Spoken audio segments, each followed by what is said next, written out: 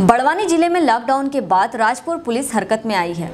Bike सवार लोगों सहित आरटीओ बैरियर बचाकर जा रहे वाहन चालकों के खिलाफ कार्यवाही की जा रही है।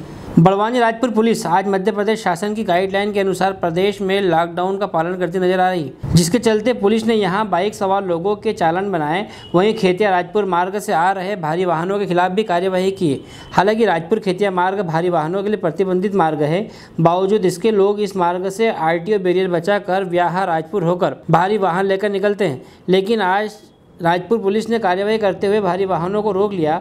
थाना प्रभारी के अनुसार गाइडलाइन की जानकारी नहीं होने के कारण तत्कालिक कार्यवाही नहीं की जा सकी, लेकिन प्रतिबंधित मार्ग होने के कारण उच्च अधिकारियों से जानकारी ली जाकर कार्यवाही की जा रही है। बड़वानी से अतुल की रिपोर्ट। पुलिस अधीक्षक महोदय बड़वानी श्री निमेश अग्रवाल साहब के आदेशानुसार डेली समय और स्थान बदल बदल के वाहन चेकिंग की जाती है, जिससे कि यातायात सुरक्षा और नियमों का पालन कराया जा सके। उसके अलावा जो गाड़ियाँ चोरी की है वो भी कई बार पकड़ी जाती है।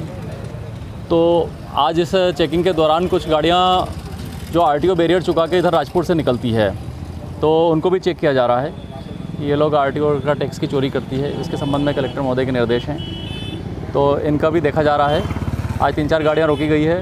इनसे पूछा जा रहा है कि आरटीओ वाले रोड से ना जाके इधर से क्यों जा जा रही है? अगर ये इधर से जा रही है तो इनका नियमानुसार चालान किया जाएगा। सर बाइक वालों को भी चालान बनाएगा हाँ बाइक वालों के भी अभी तक सत्रह चालान हो चुके हैं। जो लोग बिना हेलमेट के तीन सवारी या बिना नंबर के चल रहे हैं उनके चालान किया जा रहा है। सर जैसे लॉकडाउन है संपूर्ण मध्य प्रदेश में तो राजपुर में पालन करा गया हाँ? निश्चित रूप से राजपुर शहर में भी आज लॉकडाउन रहा और सारी दुकानें और शहर में अनावश्यक लोगों का आना जाना रोका गया।